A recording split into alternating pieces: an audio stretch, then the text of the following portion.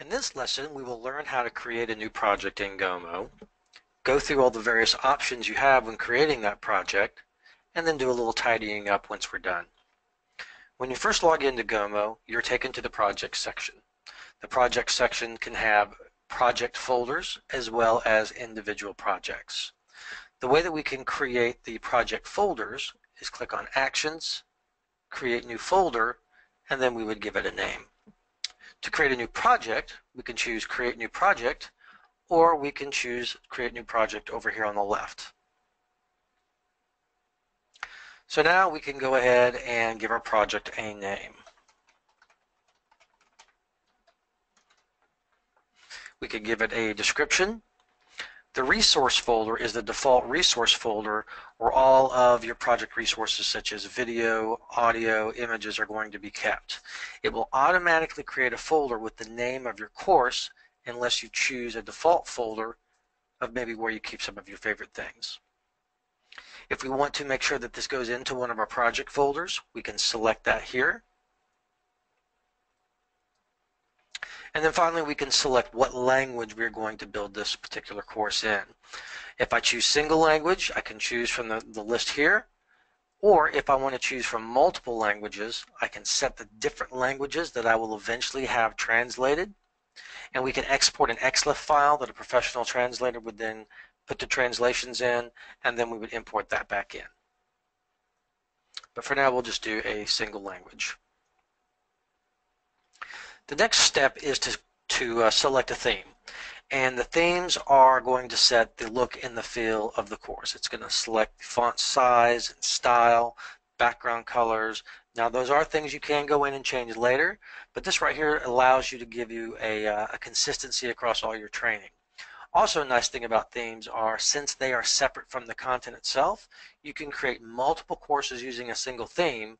And then if maybe uh, you get to uh, have to rebrand everything or you need to change your font style, you can just go in and change the theme and all those courses that were created using that theme will automatically be updated with the new uh, style or branding.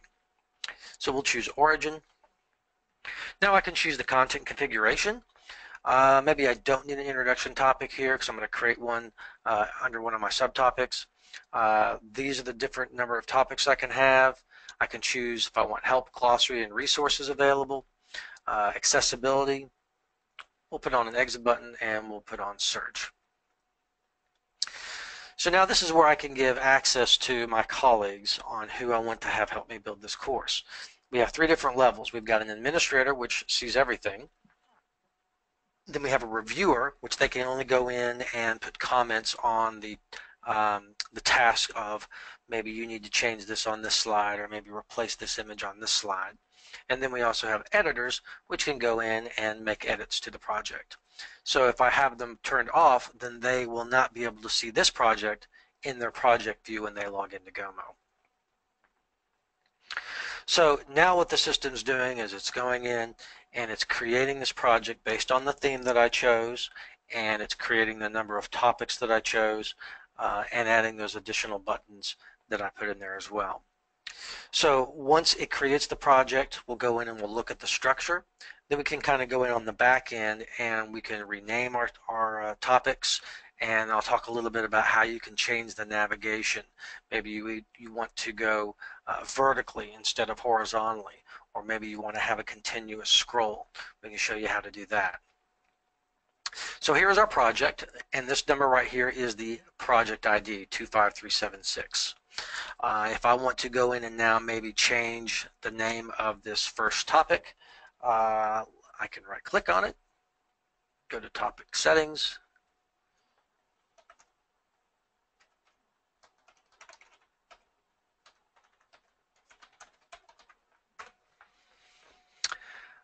I have a production status. I can show that it's either not been started yet, it's in development, it has been completed, or it has been published. Well, we're in development right now.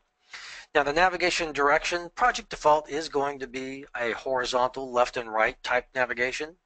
Um, and you can also set this to be vertical where you'll have a, an arrow at the top or at the bottom where you can go up and down.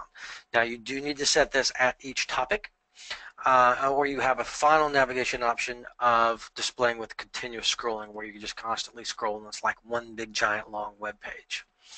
So we'll go ahead and we'll apply those changes.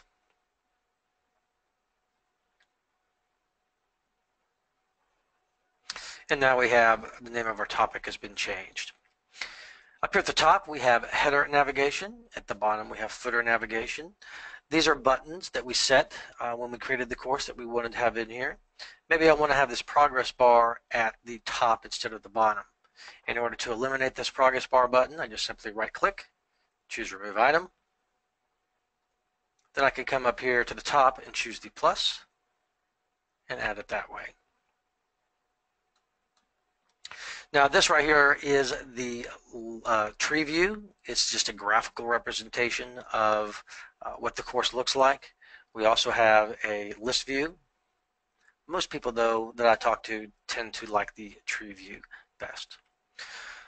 Once you've gone in and you've created your project and you want to see what it look, might look like, you can go to Actions. We can either add a new topic, we can import an existing topic from another course, we can add a content bank. This is going to be for our question banks.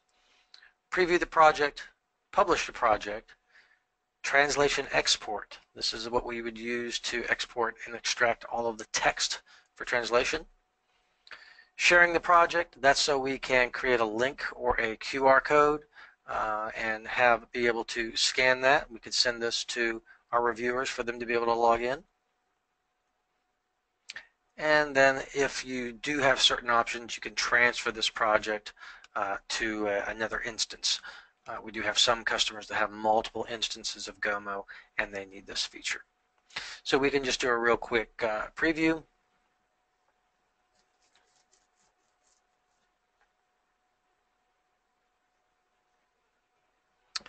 And Gomo will load our project and we can then go and see what it's going to look like on a desktop, a tablet,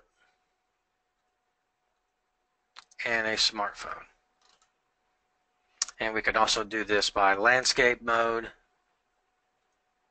for the tablet. And of course the desktop will always be landscape mode. And that is how you create a project in Gomo. For any additional videos, please go to our website at gomolearning.com and click on support.